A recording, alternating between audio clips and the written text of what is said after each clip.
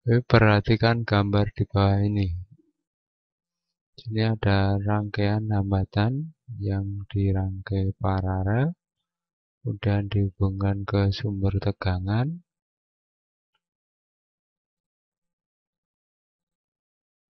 persamaan yang sesuai dengan hukum Kirchhoff. Kan di sini hukum Kirchhoff adalah titik-titik. Hukum Kirchhoff berbicara tentang kuat arus pada titik cabang dan kuat arus yang masuk ataupun yang keluar pada rangkaian.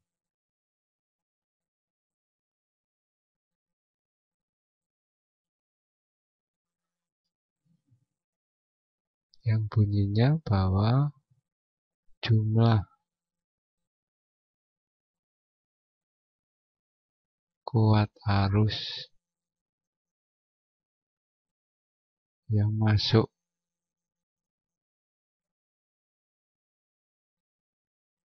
Pada suatu titik cabang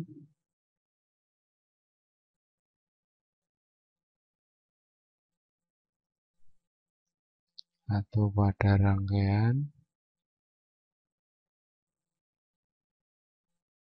Itu sama dengan jumlah kuat arus yang keluar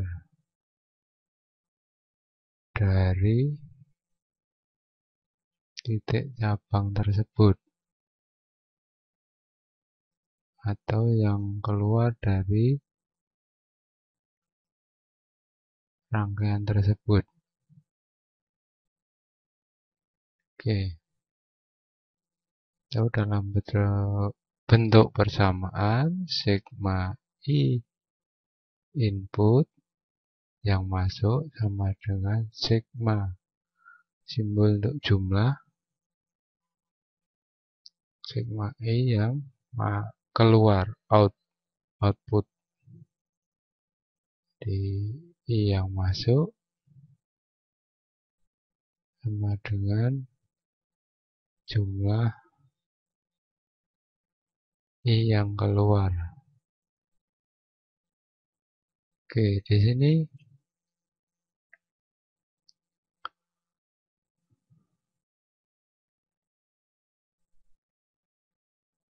ini arahnya ke kanan